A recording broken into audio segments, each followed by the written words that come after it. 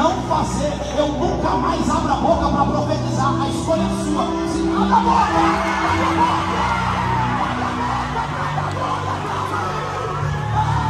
E vou colocar ele em cima do altar. Porque o diabo já tentou te matar três vezes. Ah, não, me faz, não, não, a forte mesmo foi três. Sabe por que eu não estou pronto para batizar? Porque para mim batizar, eu tenho, é tipo um casamento que eu vou fazer com Deus. Enquanto eu não estou casado com Ele, eu não tenho certas obrigações. Então deixa eu te fazer uma pergunta.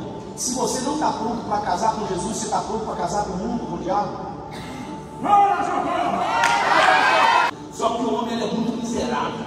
Ele quer mais. Aí você sabe o que eu fiz? Eu fui para o candomblé. Eu tenho tanta rua. Eu tenho Yeshua sentado. Eu fui um bom feiticeiro, fui um bom feiticeiro. Porque o dia que eu entrei, a mãe de santo falou um negócio comigo, você vai ser um branco, tu vai ser um melhor macumbeiro de Belo Horizonte.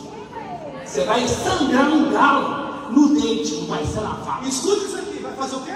Vou sangrar, eu sangrava o galo mordendo o pescoço dele, eu não cortava. Então faz o seguinte, você vai dar um abraço na Fernanda por que tu vai falar assim, Fernanda? O dia que eu entregar a minha vida para Jesus, você vai ser curada por completo, porque o diabo vive de você.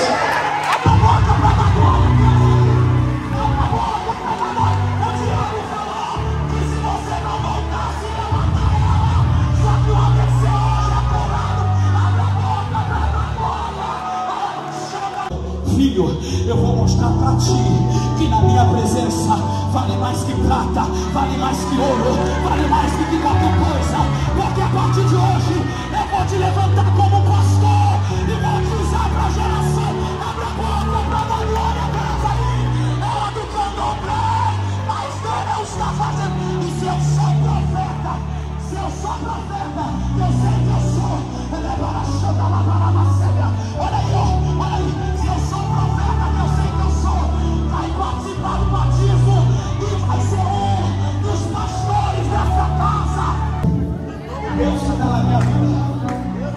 Quebrar o pacto da cachoeira. Lá.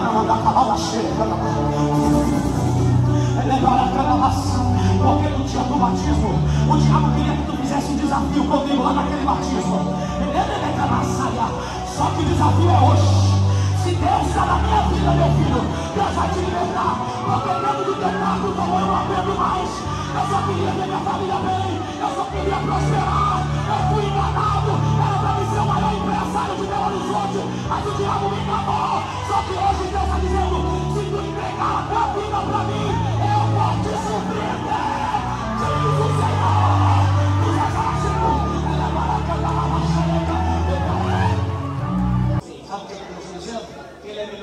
Pai que se sente abandono. Porque a raiva que você tem não é de Deus, é do teu pai que deveria ser um pai melhor e você está levando Só que Deus está dizendo: se tu dobrares o joelho hoje e entregar vida para mim, eu vou fazer algo em menos de um mês na tua vida que vai te surpreender. E se Deus não fazer, eu nunca mais abro a boca para profetizar. A escolha é sua. Se abre a.